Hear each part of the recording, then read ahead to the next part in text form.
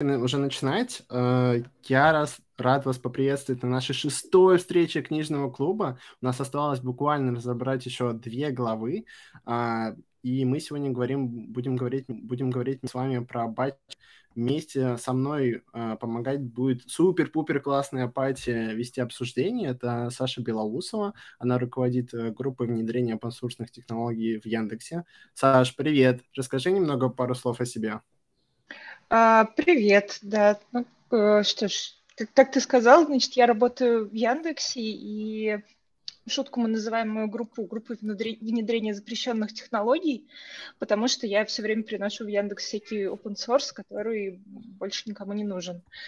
А, я примерно 6 лет занимаюсь э, значит, всякими разными большими данными, но в основном да, Hadoop и все, что там вокруг Hadoop. Лева, спасибо, Саш. Также нам будет помогать Николай Марков, принципал архитект компании Agile Research Group. А, Коля, привет. Да, Расскажи привет. немного о себе. Привет. Она Aligned только, не Agile. А Aligned Research Group, да. Угу. Ну, что рассказать. Ну, я действительно, я, я занимаюсь вот тем, что стыкую всякие разные штуки между собой. Вот мне как это, всем говорю, что меня люби, одна из любимых игр это Factorio, где там надо вот поставки налаживать и состыковывать разные процессы. Вот я ее прям как пример привожу того, чем занимаюсь вот, людям, которые... Вот. Ну, примерно как-то так и есть, да. Здорово, здорово, спасибо, Коль. А также с нами Артем Гогин, это став Big Data Developer а, в различных компаниях, и вообще Артем очень классный. А, Артем, привет, а, расскажи всем, немного о себе. Привет, да, сейчас работаю в Grid Dynamics, если что. Я всю свою профессиональную деятельность занимаюсь большими данными и до сих пор их обрабатываю. Поэтому люблю любую тему приводить к тому, а что если у нас будут терабайты данных, а где мы это будем хранить, а вот у тебя отличная идея, а что если это делать теперь постоянно на нескольких терабайтах данных, будет ли это все так же круто? Предлагаю. Сегодня, думаю, буду задавать похожие вопросы.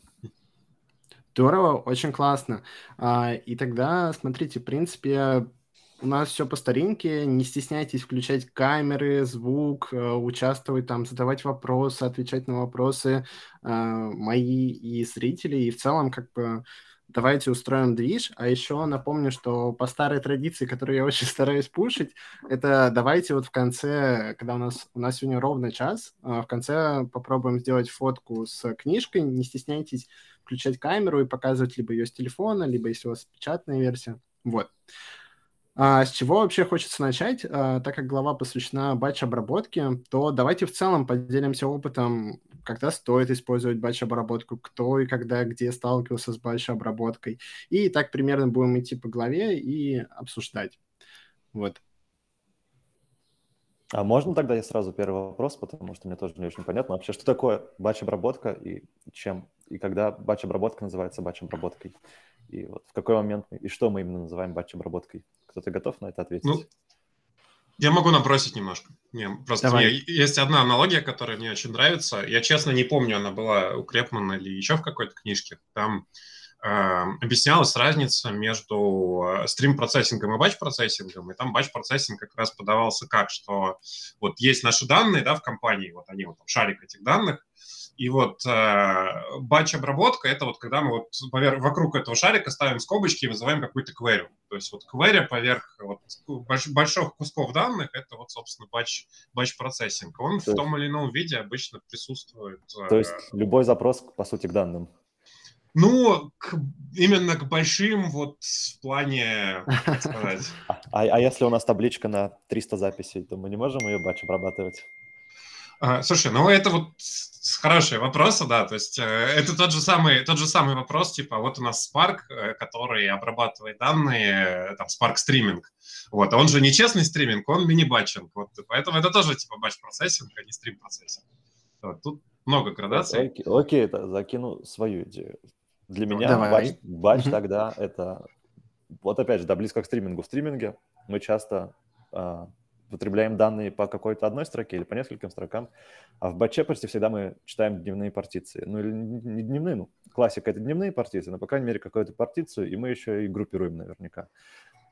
Или просто, по крайней мере, хотим реально захватить какой-то большой кусок данных, а не только там по одному юзеру, а, например, по всем юзерам или там по всем действиям, которые юзеры совершили. А, еще, возможно, и регулярно это делаем. Так что для меня, скорее всего, батч это, если вот мы думаем про регулярность, держим в голове регулярность, держим в голове, что мы не хотим делать какой-то фильтр на одного юзера, а хотим забрать всех юзеров. Ну и, скорее всего, у нас там будет куча данных, поэтому мы должны думать еще про производительность. Да, когда плюс... я студентам, угу. sorry, когда я студентам раска... это рассказываю, я им говорю, представьте лес.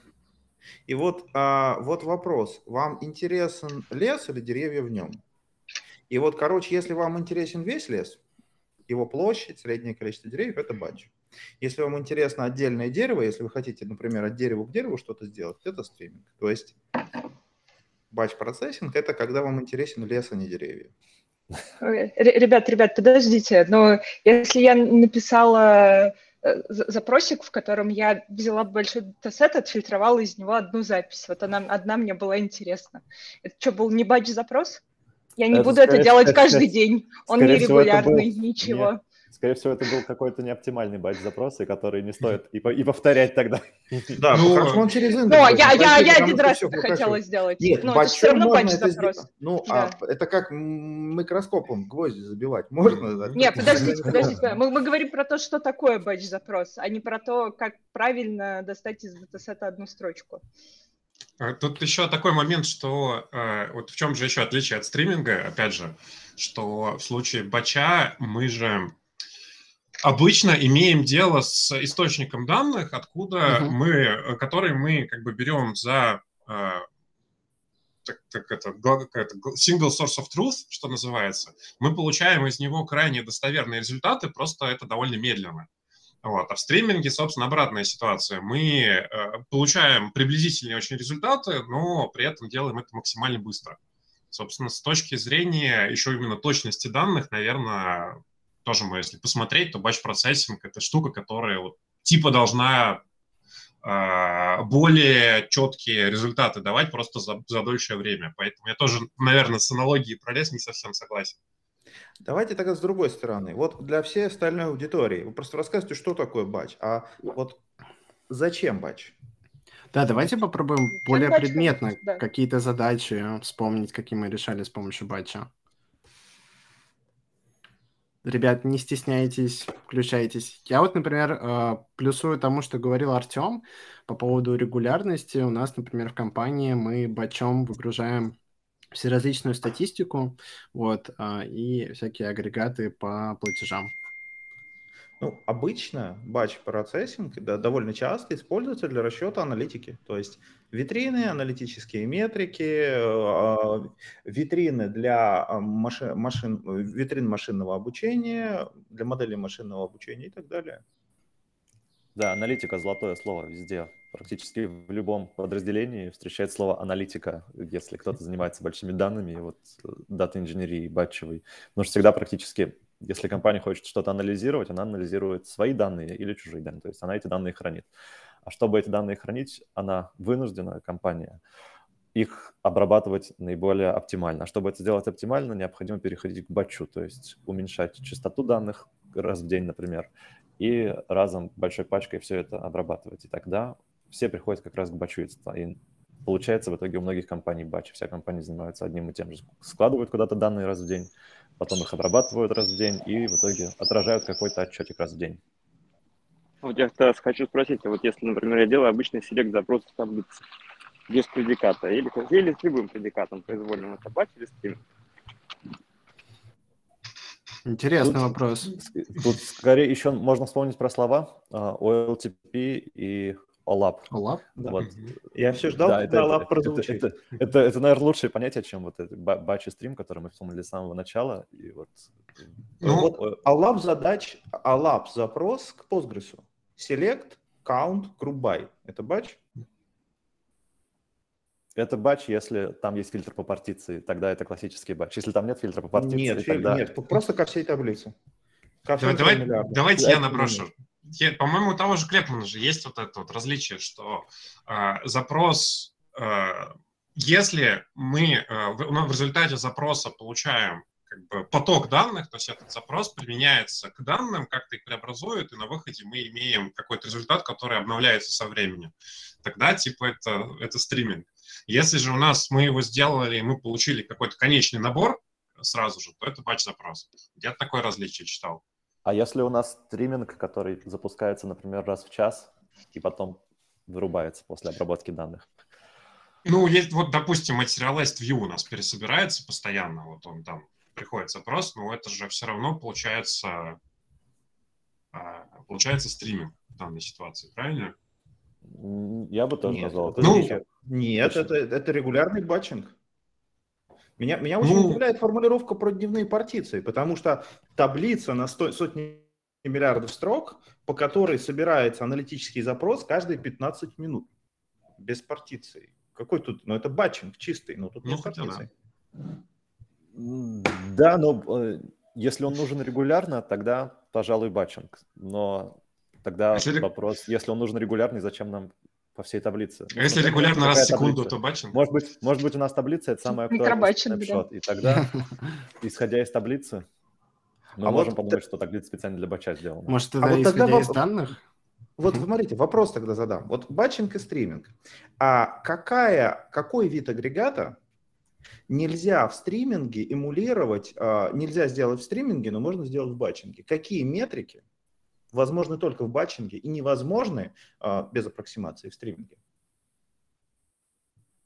Дистинкты какие-нибудь. Подождите, нет, да все возможно в стриминге, если у тебя угу. достаточно большой стейт. Ну, ну, ну, вот поэтому это очень искусственное разделение, как бы. Если ты говоришь, что тебе не жалко места на стейк, то можно все.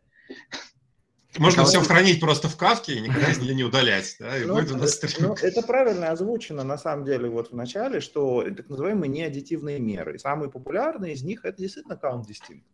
А, вот, то есть его можно считать в стриминге на лету, но это довольно странно на самом деле при условии, при условии хранения стейта. А в батчинге count distinct метрики считаются довольно ну, тривиально. Ну подожди, неправда тоже. Но если ты хочешь посчитать count distinct за миллионы лет и все накопившиеся данные, то ты батчом никогда это не проживешь. А если тебе нужно считать дистинг за последние пять минут, то и в стриме сохранишь, как бы. Ну, это такое, это вопрос да, ну, размеров. Тут, тут, тут Посмотрите, а я, сейчас, а я сейчас статью кину. Как мы Лавита считали, а, как мы считали 10 миллионов а, или 100 миллионов count distinct метрик по году, по погоду истории. Да нет, ну, я, я не спорю про то, что это можно сделать, как бы, ну. Мне кажется, мы пришли да, к тому, что... У нас даже библиотека сишная. Давайте попробуем ответить на вопрос вообще, что такое Big Data, потому что мы на самом деле очень много уже говорили о том, что есть порционируемые таблицы, есть там что-то одна сущность, которую мы хотим найти. Вот Коля уже кинул цифру, это 14 миллионов записей. Вот для кого что такое Big Data и почему вот батч-процессинг можно использовать а, вот именно для такого-то объема данных. Я тут еще хотел добросить, что это самое, что разница же еще в том, как, э, как сказать, что называют батчингом и стримингом в вашем бизнесе конкретно. Потому что типа, у бизнеса разные требования, поэтому кому-то типа раз в секунду результат получать это стриминг, а кому-то это батчинг. Да-да-да, еще. И с Big Data та же самая история, что... Как раз вопрос, дополнение к тому, если мы считаем каунты на стриминге и на батчинге. А что если мы на стриминге хотим результат видеть не раз в 5 минут, а мы на стриминге хотим результат видеть раз в 4 часа? И другой вопрос, а что если мы батч запускаем раз в 5 минут? Тогда, опять же, нет никакого смысла разделить разделять батч и стриминг, потому что они тогда меняются своими проблемами. Вопрос в том, как часто мы хотим видеть Нет, смотрите, как часто мы А как часто, какая разница? Возьмите каждый запрос. Вопрос. Запро... Э, вопрос. Ваш запрос, он анализирует все данные по истории вглубь, или он хранит стейт и копит то, что в него падает. Вот разница главная между батчом и стримингом. Разница лезет ну, по сути, перечит, перечит, перечит, перечитывает ли он заново да. входящие данные или нет? Mm. Да? Ну, материалность ее может обновляться не по всем данным. То есть в такой ситуации... Ну, с таким, с таким успехом мы и батч можем написать, который хранит себе какой-то снапшот данных и потом сравнивает со снапшотом. Кажется, ну, это... По, по, по сути, у тебя мап-операция батчевая, это, ну, как бы у тебя просто внешний стейт, который лежит на диске, да. и ты по-моему, в него такие сейчас датасеты накидываешь. LTD называются, live to, live to date, то есть мы вместо того, чтобы перечитывать изначальный стейт, мы читаем там последний наш снапшотик и к нему приплюсуем наши новые данные и матчем наш последний снапшот с новыми данными. Такой подход в батче тоже есть. Так что, опять же, стриминг тут зависит только от того. Операция, по сути, одна и та же, математическая. Вопрос в том, как часто мы запускаем только и сколько данных хотим прочитать. И хотим ли мы читать данные лишний раз. Но, кстати, да, э, хороший point, что батчинг зачастую не хранит никакой state, если только ему физически не сделать таблицу, логику не продумать запросов, как он будет хранить state, батчинг зачастую перечитывает все данные заново даже если так, мы а не будет возникать какие-то проблемы, если мы будем пытаться сохранить state там через таблицу? У нас же получится какое-то там мега замедление. А, не, а, это, кстати, очень популярный подход в дата-инжиниринге, когда стейт хранят на жестком диске, то есть mm. зачастую, чтобы а, освободить оперативку и облегчить работу и оптимайзеру, и любому движку легче сохранить вот это. Все, что так вот что MapReduce делает. Зачем MapReduce сохраняет все на диске? Практически. Ну, только MapReduce все сохраняет на диск, не спрашивая, а дата-инженер все-таки иногда выборочно какую-нибудь табличку нет-нет, да сохранять себе на жесткий диск. Я, я еще все надеялся, что кто-нибудь набросит в рамках главы, что типа... Э, да, давайте, э, если, давайте если, если это делать на ходупе, то это батчинг, а если это делать на флинке, то это стриминг. А, на тему набросить. А в каком году Google прекратил использование MapReduce и почему? 2008, по-моему. 14. По-моему, 2014. ровно через 10 а, лет после изобретения алгоритма. 10 лет поиграли. А, нет, 2008, это статья вышла. Да. Нет, ну подожди, он, он, они же закопали MapReduce как фреймворк, я так понимаю, не как да, подход в целом. Угу. Да, ну, в смысле, у тебя MapReduce как идея живет внутри буквально там всего. Внутри MongoDB. Ну да, но для анализа данных батчингового теперь все пользуются другими технологиями. Ну, кто, не технологиями. Оно, оно под капотом, оно все равно работает как э, MapReduce, в смысле, как, ну, как идея. Типа разделить на кусочки, Пар потом, потом пошаплить, потом еще разделить на кусочки. Вот Парадигма — это живые, всех живых. Не совсем. Не, умер, как бы. не совсем. Ну, то есть там же как парадигма общая, она скорее, я, я может, не прав, но я, насколько знаю, она называется scatter-gather. То есть, типа, вот парадигмы, когда мы раскидываем по тачкам, потом собираем, вот в более общем смысле это scatter-gather. А MapReduce там или там что-то более хитрое, то есть там это могут быть, я не знаю, у тебя цепочка акторов, на которые граф вычислений мапится каким-то образом. Вот, это уже другой вопрос, и там уже могут быть разные реализации. MapReduce — это типа просто одна из вещей. Я думал, что основная реализация это вот то, что MapReduce есть три шага, Map Shuffle, Reduce, и вот да, как, как раз так эти, эти, эти, эти три шага и имплементируют все фреймворки, которые все, распределенные фреймворки как раз. То есть даже если нет MapReduce как такового, то вот эти Map Shuffle, Reduce остались сейчас везде, по-моему, до сих пор. Смотрите, то есть... но, uh-huh. давайте с другой стороны, а, но в фреймворках, да, но если мы говорим что про людей, которым нужно анализировать большие данные, которые у них есть, и они берут Google BigQuery, они берут Databricks, берут мой любимый Snowflake, мою любимую Vertical. Где мой MapReduce?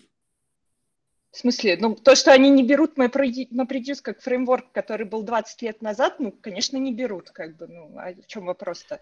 Ну, вот, ну конечно, неудобно писать мапперы и редюсеры. Потому что, смотри, просто, просто смотрите, зада, э, как бы MapReduce, он уходит.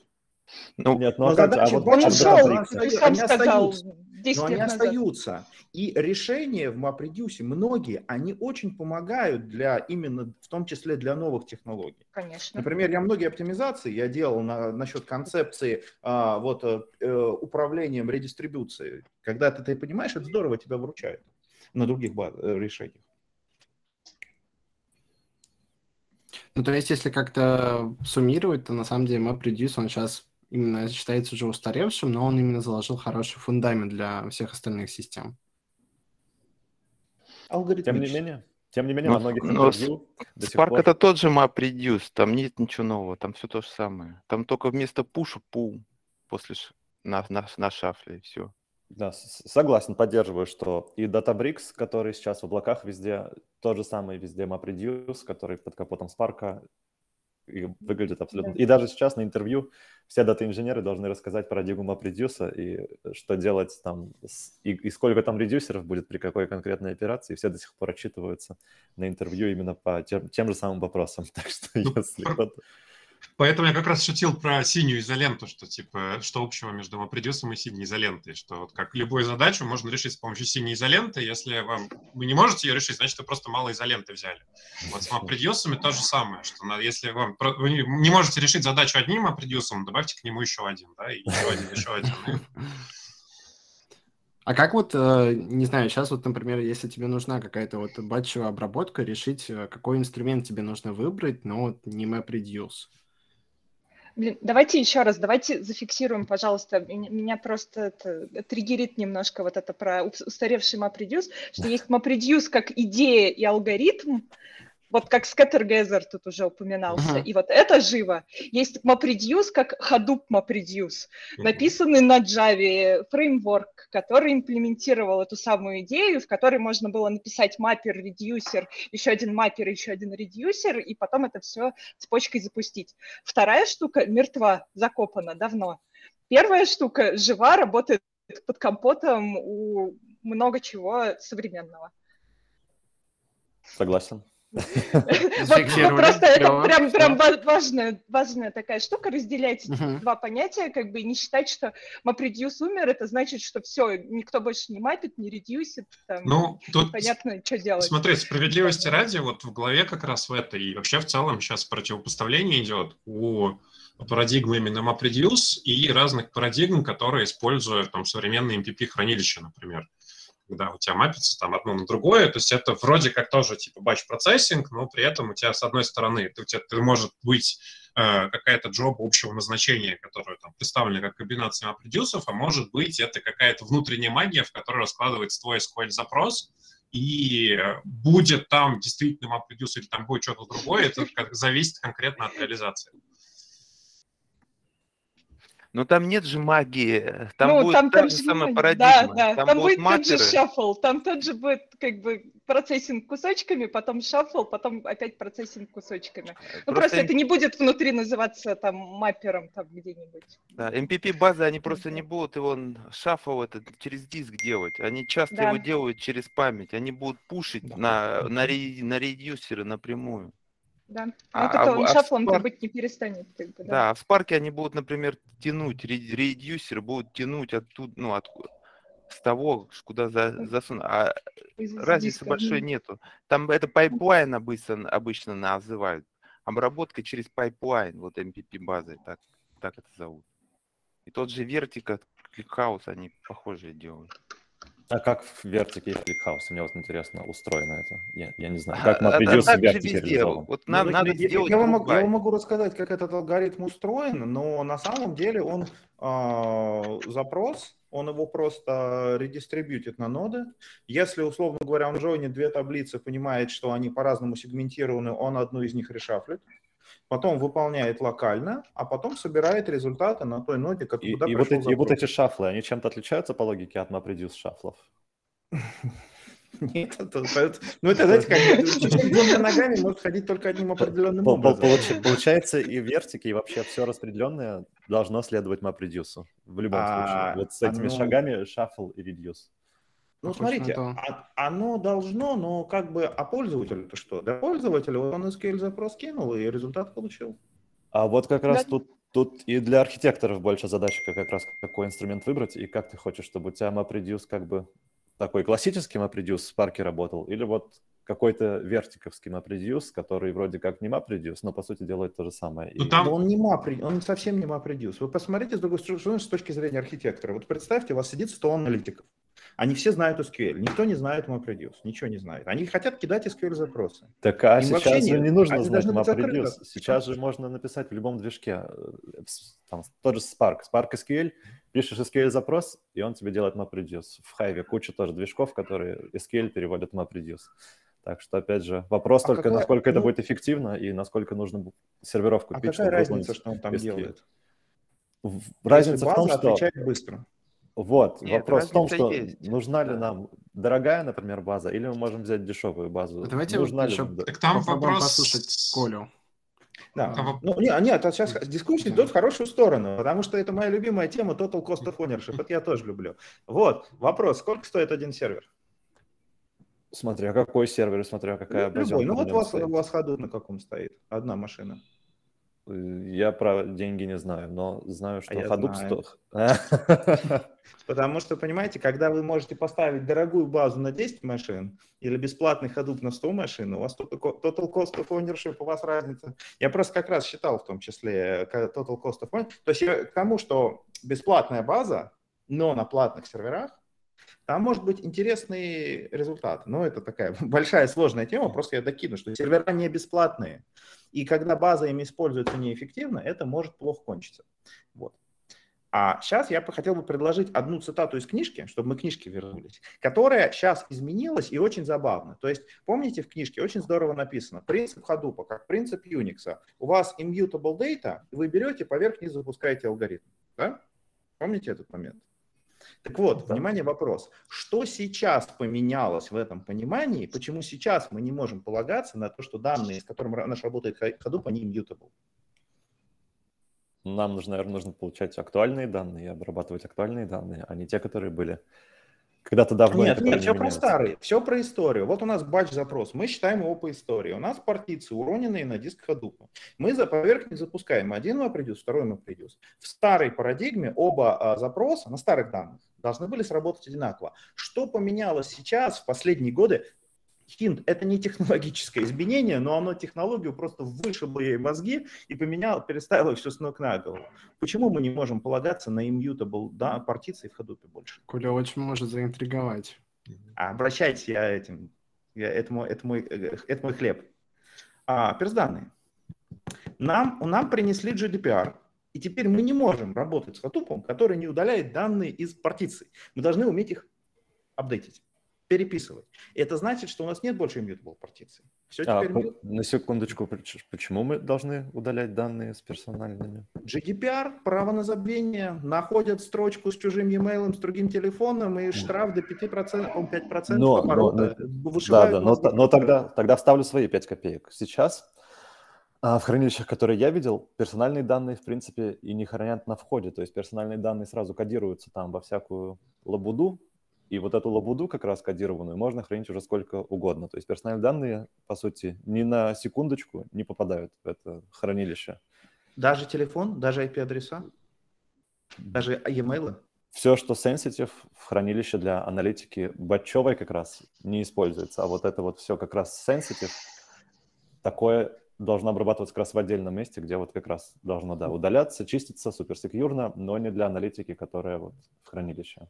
Вот то, о чем я, вы говорите, я это хорошая практика. Это хорошая практика, к этому стремятся. Но когда они старые, там они довольно часто есть. Когда, например, считали, что телефоны можно, что имейлы можно. Да, я такое часто видел тоже. Когда, когда даже тексты, тексты, тексты сообщений. Да, тексты сообщений, которые очень тяжело парсить. И оказывается, что в текстах он там, там другому человеку такое написал, что лучше бы не писал. А кто, сейчас... Что... а кто сейчас вообще проводит вот эти аудиты GDPR-ов? Вот на выявление sensitive данных, что ты их обрабатываешь? Ну, там сертификация компании есть же по-хорошему, там есть эти uh-huh. комплайенсы, которые, ну, то есть там компании, которые этим занимаются, они к тебе приходят, смотрят, тебе дают сертификацию, или не дают. Или могут юристы прийти, если ты подозреваешься да. в нарушениях. Кстати, самый веселый кейс как раз, э, это не только когда в данные пролезло, а когда кто-нибудь э, в джобах еще там забыл принты какие-нибудь, и оно попало в логи. в логах... логи, в логи самое, самый трендец, потому что из логов почти невозможно вычистить их. Вот. А это подсудное дело. А так мне ну, аналогия очень нравится вообще, с, на самом деле, с юниксовыми утилитами. Вот если вот этот момент исключить, мне просто э, настолько нравится, есть даже... Э, я, сам лекцию читал несколько раз на тему того, что э, дата-инженеры, многие, они очень сильно недооценивают э, силу юниксовых утилит. И у нас даже был кейс, когда на работе надо было эм, там несколько терабайт данных прошерстить, но на них надо было считать какие-то совершенно базовые вещи, там статистические метрики по паре колонок. Вот, и там был код на питоне, на ходупе, который там отсчитал несколько часов, Вот. И там народ это не устраивало, они спросили, э, как, пришли ко мне, спросили, а можно как-то это ускорить? Вот. Я это переписал на, на баше с савком, с грепом, и оно типа стал считать за 5 минут на тех же данных, вот, причем без ходупа. Вот, и э, там народ потом приходил, спрашивал, как это делать, я там всем рассказывал, что вот АВК, вот он так работает. Вот. Но АВК же, он не распределенный, то есть это одна машинка все считается? Нет, да, это на одной машине все считается. Да? Есть... Это к вопросу о том, что есть. такое большие данные. Да. Как бы мы, мы вот как-то вот плавно вот, вот таким вот путем вернулись есть... к вопросу о том, что такое большие данные. Есть прям статья на эту тему хорошая, там она называется буквально что-то там command line утилиты могут быть в 285 раз быстрее вашего э, Enterprise Hadoop кластера. Прям вот если наберете сейчас в Гугле, там вот она есть на русском, на английском, на чем угодно. Вот, и там как раз чувак, вот он про такой же кейс рассказывает. Они переписали, у них был э, серьезный production pipeline, он его переписал на command line утилитах, причем он даже не сказать, что он стал сложнее в поддержке, ну, то есть, типа, ну, там, одна строчка, да, длинная, да, там, с разметочкой. Вот. И все работает, решает. И это если еще не вспоминать, что это Но и параллель, на самом деле, тоже получается, можно. Да. тебе данные приходят на этот сервер, ты их никуда не шафлишь, у тебя нет никакого соединения больше, и ты прям его обрабатываешь на месте. Ну, а, Тут а Клеп, тогда Клепман вот эти вот набросил. Все, а как же вот эти тогда все репликации, вот это вот, если у нас сервер упадет, где у нас доступность тогда? Смотри, вот, э, вот Клепман, он на эту тему, кстати, тоже набрасывал, но он так это, больше троллил, что формально ты можешь написать MapReduce распределенный действительно на баш утилитах, но тебе придется для этого делать всякие возвращения с надкатом и со всякими прочими штуками. Это реально можно сделать. А, ну, ретраи, наверное, будет сложнее сделать, но тоже можно, если очень сильно захотеть. Вот. Другое дело, что это поддерживать потом, естественно, никто не сможет. Но типа MapReduce можно делать. Да. Есть, вот, есть, кстати, для этого сам, для Data Science э, прям фреймворк полноценный, э, который называется Opal Webbit типа вот как эти мультики Warner Brothers старые. И, собственно, там вот этот фреймворк, он там, у него ограниченный область применения, он там умеет только линейные модели основные базовые строить, но при этом он написан на чистых сях, и он принимает а, ввод и вывод, ну, то есть там, типа, все данные кидаются на std все выводят на std а все остальное конфигурируется с помощью набора флагов в нем. И просто запускали пачками на машинах, собственно, вот этот фреймворк. Э, данные резали на куски самостоятельно, скармливали там на STDIN, и это все работало на порядок быстрее, чем если бы там это на спарке написать. Ну, вот просто вот. Но это придется продумывать партишенинг и нарезание данных уже заранее, самостоятельно. Такое тоже бывает. Я его кинул, мы в Авито эту штуку использовали, отлично работает. Ну, да, у, нас да, да, у нас в Авито ходупа не было. Мы просто Авито уже после стал развивать. Вот. На тему больших данных. Интересный вопрос. Вот вы, когда говорите про данные, вы их размер меряете в терабайтах или в строках? Это вот вопрос аудитории этому доступу. Монологи получается. Я вот могу про себя сказать, что мы это меряем пока что, да, либо в гигабайтах, либо терабайтах. Вот самая большая база данных это у нас 3 терабайта, к сожалению. Мне, мне сейчас... кажется, надо мерить сложности восстановления. Во время, Давайте... которое ты потратишь на то, чтобы базу восстановить. Человека часах, короче, меряем. Ну, типа того. Нет, давайте еще... Ну, я к тому, что вот этот предыдущий вопрос, Просто предыдущий вопрос по поводу того, как, как быть с баш-скриптом, который терабайтный файл обрабатывает там, а. по поводу отказоустойчивости. Если тебе там, ну, типа у тебя этот файл где-то лежит на соседнем сервере, текстовый, тебе его скопировать там 5 минут, то как бы зачем тут какая-то распределенность отказоустойчивости? Ну, там, опять же, тоже про это в голове было, что э, в некоторых случаях гораздо проще э, сделать там distributed replicated, что у тебя типа одна, одни и те же, э, одна и та же копия данных какой-нибудь справочника, она раскладывается просто по всем машинам, и дальше ты на каждой машине типа, с полным локалити все считаешь. Можно а, еще, а еще куча use кейсов, когда это все в память влезает, и надо просто написать, взять нормальную хэшмапу mm-hmm. и все. Mapjoin, наше все. Да. Я почему, ну да, вот, вот на, все, на все эти темы, что может влезть в память, может влезть в машины, я почему говорю? Потому что вот представьте поисковую выдачу обычную, где поисковая выдача в Гугле, вы пишете, и у вас 100, 100 элементов. Вот как вы считаете, вот поисковая выдача, сколько она в байтах будет занимать? То есть, ну ладно, не 100, да, 10 элементов. То есть у каждого элемента номер. То есть это просто массив номеров. То есть 8 байт на 10, 80, ну максимум 100 байт, понимаете? А это вот классический подход, почему одна строчка, она должна весить, ну, условно говоря, 100 байт. Теперь внимание в ходу, внимание про MapReduce, вот этот подход. А будет ли там она весить 100 байт? Или там нужно что-то еще к ней добавить? Вот представьте, вам нужно анализировать поисковую выдачу для рекомендательных систем. Чуть я загрузил, по-моему, всех. Да, я, я, я, я, я Ладно, дай, я, дай какой-нибудь подкаст. Я, я, я, я, я просто сделаю следующий шаг, вам станет понятнее. Объясню. А если вы хотите это анализировать, вам по каждому айтему нужно понять, ну, вот элемент в поисковой выдаче. Нам, вам нужно знать его название, надпись, был ли этот, на этот элемент применена реклама, его цена, какая там аватарка и так далее. То есть это легко делается за счет джойна. То есть вы, если вы можете хранить 100 байт, условно говоря, если вы можете каждому айтему приджонивать его характеристики. То есть каждый айтем, каждое, ну, условно говоря, объявление в выдаче вы можете хранить один раз и приджонивать ко всем его показам. Если у вас быстрые, если вы можете делать распределенные джойны быстрые, а если вы не можете, то на каждый айтем вам нужно в каждый его показ кидать всю его характеристику прямо туда. Характеристику, условно, килобайт. И у вас вот выдача из 10 айтемов, она будет весить 10 килобайт. Да, вот поэтому я, я спрашиваю. вспомнил про нормализацию и денормализацию. Да, и тут вот именно. Раз, ну, да. да. И тут как раз, когда мы говорим про Hadoop, да, мы как раз, по сути, мы тратим лишнее наше место на жестком диске для того, чтобы потом не делать эти джойны. То есть мы как бы оперативку обмениваем на жесткий диск и тратим лишний жесткий диск, чтобы потом сэкономить оперативку. Это вот подход Hadoop как раз.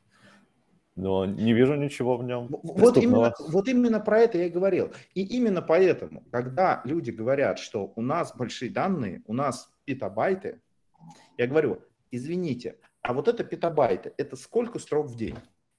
Это 10 миллиардов строк или это 100 миллионов строк? Потому что мое любимое Авито – это 200 миллионов рекомендательных показов в день.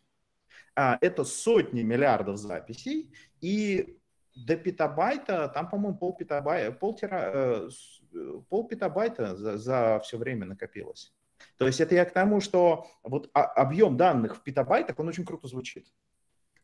Ну, Но ты думаешь, там тысяч, тысяч, тысяча колонок в одной табличке, и поэтому она просто множится на себя, и там каждая строчка по мегабайту.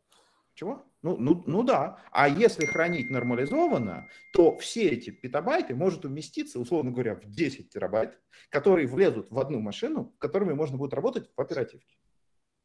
А как, а как же Анкор? Там же Анкор был, я помню, в Авито.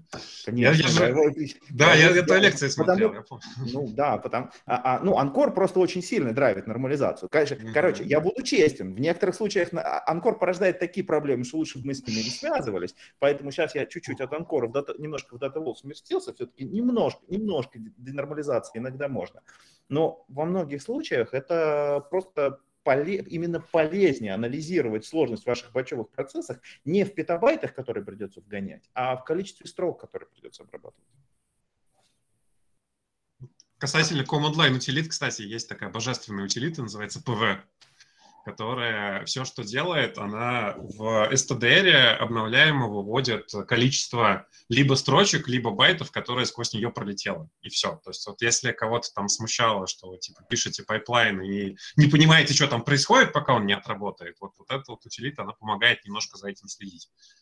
Я таким образом писал ETL, мне надо было данные заливать в а, и там заливал через HTTP, я типа через GNU parallel ом там запускал и швырял это все curl ами, и вот у меня на входе стоял PV, который мне считал, сколько у меня там байтов из моего изначального dataset а загрузилось.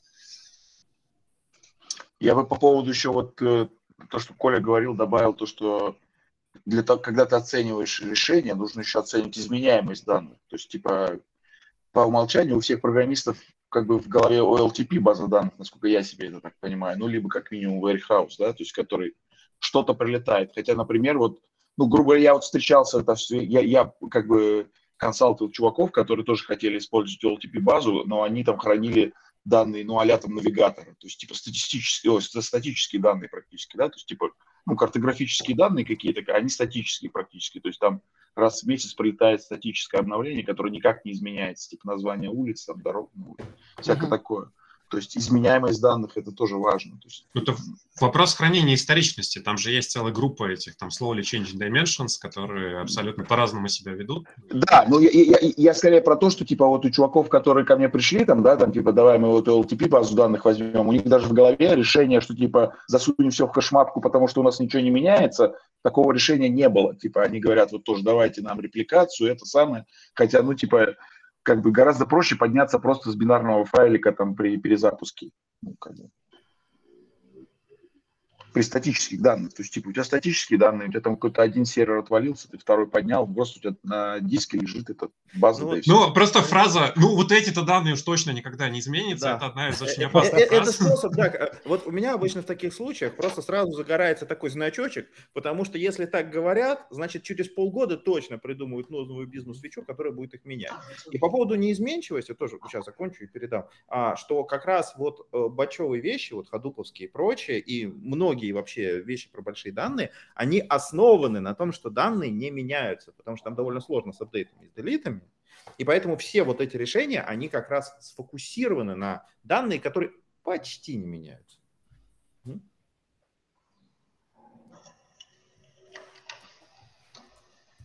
Так, еще там кто-то хотел сказать? Я Совсем согласен. Ну, про главу, не про главу дальше, там еще много чего интересного. Тут уже был вопрос про Data Vault рассказать. Не помню, я на Николая ну, смотрю, я думаю... Не, а давайте, давайте про хранилище, про, просто по концепции хранилища, потому что Data Vault там по смыслу он дальше после хранилища. То есть вообще идея, а надо ли, надо ли сейчас вообще хранилище, в принципе? Ну, хотя, нет, давайте так. А вот э, тоже к участникам. Кто э, знает, что такое хранилище данных? Э, если вы знаете, как считаете, они сейчас нужны или нет? Давайте, да, не стесняйтесь, размьючивайтесь, э, говорите. Ну, мой ответ, конечно, нужны. Ну, вопрос из разряда, нужна ли Java? Ну, если тебя консультируют за это, то, конечно, тебе, конечно, нужны. Я бы тоже, в принципе, мне тоже нравится, что они есть, мне за это деньги платят. Но... Да, я, я, я тоже как бы всегда за хранилище, но у меня вот вопрос. Раньше была, ну, раньше, еще до хранилища как раз, любили хранить только самый актуальный стейт, и историю хранили с таким большим скрипом, потому что это было очень дорого. Появились хранилища, все стали хранить супер большую историю вообще, храним все, что можно, все складываем, когда-нибудь пригодится. И вот у меня вопрос, сколько лет сейчас вы думаете, нужно хранить данные? Раньше я встречал подход, что нужно хранить все. Там, насколько можем, все всегда храним. Сейчас я вижу больше подход, что храним нам обычно пару лет, потому что больше все равно нам неинтересно смотреть, что было больше, чем два года назад. Данные все равно уже как бы на текущий момент не повлияют. Э, как вы считаете, сколько нужно хранить данные в хранилище? Потому что это как раз влияет на то, нужно ли нам думать о том, чтобы дешево хранить данные, или мы все-таки можем сосредоточиться на самых актуальных данных и поэтому выбрать что-то более быстрое в обработке, но такое же дорогое в хранилище, если мы собираемся хранить не так много данных. Алексей пишет то, что это очень сильно зависит от сферы. Это хорошее предположение. Ребят, в целом не стесняйтесь, пишите в чат. Вот я я как раз про сферу хотел сказать, что да, вот если, допустим, возьмем какую-нибудь авиакомпанию, которая хочет анализировать э, отказ деталей в самолетах, а там срок службы у деталей, там, я не знаю, там лет 7, допустим. Вот. И надо собрать статистику, э, насколько часто действительно они отказывают и насколько это совпадает с тем, что производитель заявляет. Ну, значит, придется хранить сильно дольше. Ну, может, может быть, хранить там не всю вообще, не весь поток информации, который там эта компания анализирует, но касательно конкретно там, каких-то исследований, которые она хочет провести исторических, вот, эту, вот эти данные придется хранить. Вот. А если это какой-нибудь там ритейл, который, я не знаю, из Китая колготки перепродает и, и, и все, и типа там несколько лет существует, то, ну, наверное, не сильно интересно хранить там больше последнего года-двух. А если это какой-нибудь э, любая компания, которая работает с клиентами, будь то финансовый сервис, там сервис перевозок, сервис телекоммуникаций или это какой-то веб-сайт, где Просто есть куча пользователей, миллионы пользователей, которые что-то делают с компанией. И вот самые большие данные – это практически всегда движение миллионов клиентов или поведение клиентов. Или поведение там техни... ну, технических штук, наверное, да, тут можно как раз про гарантию вспомнить, но если мы говорим про людей, то это всегда поведение людей. Самые большие данные делает зачастую. То вот с поведением людей сколько лет тогда? нам понадобится? Имеет ли смысл нам анализировать там трехлетней давности? Или мы действительно можем сосредоточиться на том, что клиенты делают... Ну, компания же существует. Вот сейчас с текущими акциями, там, с текущим, с текущим, в текущем формате, с текущими услугами. Нам вот нужно ли тогда вообще знать, что было с компанией три года назад, когда у нее было там и клиентов в пять раз меньше, и клиенты вообще были другие, и ситуация в стране была другая. Очень Или нам нужен философский вопрос. Давайте я контрвопрос задам. А что сейчас в 2022 году при наличии облаков может помешать хранить все? Цена. Да, платить за Цена? это будет. Там это деньги. Ну, э, вы реально видели эти цены там в S3, в Глассиере? Это же практически ничего не стоит. Ну, а как за него платить, такой вопрос сейчас.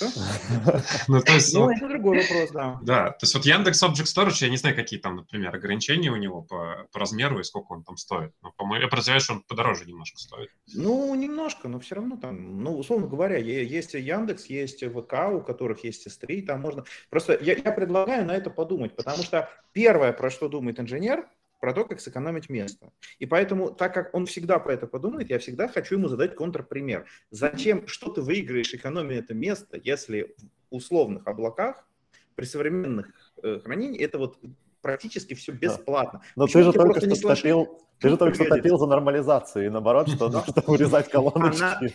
А, нет, смотри, а нормализация, она уменьшает тебе косты, потому что объем информации у тебя не, меньшает, не уменьшается, у тебя уменьшается количество мегабайт на диске. Там 100 раз уменьшается, а информация... Что? Так ты же говоришь, это бесплатно, то есть неважно, ну, ты, это же очень дешево. Ты Подожди еще раз. А, ты, вот ты говорил про, нужно ли нам анализировать, что компания делала три года назад. Да, То есть ты спрашиваешь, нужна ли эта информация? Ответ, да. информация нужна. Другой вопрос. Если мы эту информацию можем, сохранить, можем хранить в 100 раз дешевле, стоит ли нам сделать эту оптимизацию? Да. А ответ, нужны ли данные, а, как бы ну, я предполагаю, что тут у нас все инженеры собрались, да? Так вот, а не нам судить. Ответ, нужны ли эти данные, на, не, на него должны отвечать аналитики и продукты, которые они захотят, они проанализируют. Если они захотят, придут, а я скажу, я не могу, это мой fail. Поэтому лучше я не буду им говорить, лучше я скажу, я все могу. Очень дешево. Вы только приходите. Не придете, очень жаль. Это хорошо, когда получается и все могу, и еще очень дешево. Только зачастую mm-hmm. получается, что все могу, но за тройную стоимость. Там Если Николай как раз про Snowflake, я помню, рассказывал, что ну, как это все, все дешево. Вот осталось понять, как сейчас это... это уже, на него давно, давно смотрел, но вот как его теперь здесь Почему ты про тройную стоимость говоришь, про что-то плохое? Да, да опять, опять же, почему ты думаешь, что тройная стоимость это плохо? Потому что, во-первых, от какой суммы X3? Возможно, там вот этот X это такие копейки, что их увеличить в три, раза, это просто способ, чтобы тебя заметили. Опять а, же, опять же, ты говоришь, что тогда я дата-инженер, вот аналитики пусть думают, какие им нужны данные, а я им предоставлю все. И опять же, получается, ты решаешь, сколько нужно взять с них денег, и что тройная цена – это хорошо. Но можно было бы тут сказать, что вместо того, чтобы... Что я, опять же, простой дата-инженер, и почему я буду решать, мне взять тройную цену или одинарную цену? Я могу предоставить выбор, опять же, тем же самым аналитикам, и пусть они возьмут на себя ответственность. Я говорю, что либо вы платите в три раза больше, и мы храним, и мы надеемся, что вы придете через три года и захотите анализировать всю вашу историю, либо мы сейчас с вами договоримся, что вы анализируете только последний год, и тогда я все удаляю, и мы делаем это все в три раза дешевле. И тогда все работаем и все тогда записываем себе лишнюю премию вместо того, чтобы тратить деньги на сервера. Я вот полностью соглашусь с Артемом. Наверное, когда будет речь стоять между тем, что возможно вы там придете через три года, возможно, мы не знаем, это под большим вопросом, там сэкономить какую-то стоимость, то, наверное, будут экономить. Нет, и там, там, понимаете, цены, которые получаются, ну, условно говоря, вот это все, это стоит как аналитик. Один за год. Или два. А, То есть, ну, опять, смотря, смотря какие данные и ты вот... Ну, какие? Ну, я, конечно, у Гугла это немножко больше занимает. А, я просто поясню. А, вы просто учите, что есть еще некоторые бенчмарки, некоторые стандарты по рынку. Сколько могут стоить такие платформы? И, условно говоря, если вы внутри бенчмарка, если вы внутри нормальной стоимости на дата-инженерную платформу, и внутри этого вы, как бы ужавшись за счет оптимизации, можете хранить все, вы молодец. Потому что у вас а, на все вопросы еще, еще, еще, тогда, еще тогда дополню, что не так просто можно это все ужать в оптимизацию, потому что в хранилище стандартном загружаются сырые данные, значит, в каком-то там в виде похожем на какой-то там JSON, что-то с API, например, пришло. То есть такие совсем, э, совсем неудобные для хранения данные. Мы их, допустим, можем удалить и переложить уже в более оптимально. Все равно как бы данные про все, данных много, не, денормализ... не нормализованные, но уже хотя бы в нормальном формате, типа паркета. Далее мы можем построить витринку какую-то, где уже какие-то агрегаты. Из нее можем построить еще одну витринку. И там уже как бы денормализация за денормализацией, за денормализацией, и как бы данных, данные одни и те же, но под разным углом, разные агрегаты какие-то, кубы с этой стороны, кубы с той стороны. И вроде данные одни и те же, но показывают очень много с разных сторон. И они все место занимают. И вот вопрос, опять же, мы хотим вот это все хранить три года, и если мы хотим это хранить три года, то я вот в таком виде, который оно есть, мы потом раз и все это прочитали сразу. Опять же, не, учи, не учитывая много оперативки, не тратя ресурсы на то, как этот запрос построить, селект, как эти кубы снова восстановить. Другое дело, если ты говоришь, что мы идем дешевым путем, и вот прям делаем это по цене одного дата-аналитика за год, то мы избавляемся от всех этих кубов, выкидываем, держим в голове только этот SQL-запрос, как мы эти все кубы построили три года назад. Мы нормализуем данные еще, то есть мы пишем еще дополнительный SQL-запрос. И из сырых данных, которые были, и на которые мы вообще не тратили время, чтобы мы их обработали, мы работаем целым подразделением для того, чтобы хранить эти SQL-запросы, хранить эту логику, поддерживать ее обновления и, пере... и как раз нормализовывать данные, и у нас появляются гигантские косты на сопровождение и на рабочую силу в этом случае. Ну, гигантские. При, при вопросе про сбросе данных, а, я говорю, главный вопрос, главную идею, вот я вот уже озвучил до этого, а, ответ на вопрос. А, мы принимаем решение не про данные, не про мегабайт, мы принимаем решение про информацию. Ответ. Информацию терять нельзя из любой истории. Если информацию за прошлое можно хранить в меньших объемах, меньшей ценой, это хороший способ. Значит, нужно хранить ее а, в меньших объемах, ценой меньших, э, ценой меньших мегабайт. Но, но ее а, же нужно но... будет еще проанализировать потом, а это же опять будут рабочая ее, сила, а если ее, она нормализована. А как информация без анализа? Но а... это анализ, это, смотрите, анализ это косты на аналитиков. А информация сама себя не проанализирует никак, поэтому аналитик там в любом случае будет. И в любом случае вот это вот total cost of ownership, он складывается из чего? Он складывается из а, того, есть ли информация, потому что если нет информации, добыть ее заново очень дорого. И второе, это что ее должен человек анализировать и как он ее будет анализировать, то есть какой это человек. То есть это вчерашний студент с опытом в SQL, который просто возьмет, кинет SQL запрос и получит ответ, даже если там миллиарды либо это специалист по машинному обучению, по MapReduce, который умеет оптимизировать, доставать из JSON и прочее. Это все total cost of ownership. И вот это все, и вот, вот этот полный пазл, он балансируется в полную а, вот цену хранилища. Но я, я бы еще, еще добавил, есть же еще паттерн вот этот популярный, что э, там это не совсем то же самое, что разделение это на Data Lake Warehouse, это скорее вот разделение на э, хранилище исторических данных и на хранилище горячих данных. Да, что э, есть там как, за какой-то период, который вот сейчас аналитики смотрят в течение ближайшего времени, э, это одно хранилище, куда они ходят, они могут там SQL запросы находить, там может какие-то витрины, Materialized View, все что угодно, и оно там вот за какой-то период содержится, работает. Когда эти данные собственно, какие-то куски данных устаревают, они из этого хранилища выкидываются. И это окей. Потому что эти данные в историческом формате, в историческом виде, они там в каком-то сериализованном формате валяются в HDFS. Да, теперь для того, чтобы извлечь из них, возможно, там какие-то похожие отчеты, придется писать там определенную жобу или придется писать там SQL запрос, там уже теперь в Hive, а не в Vertic условно.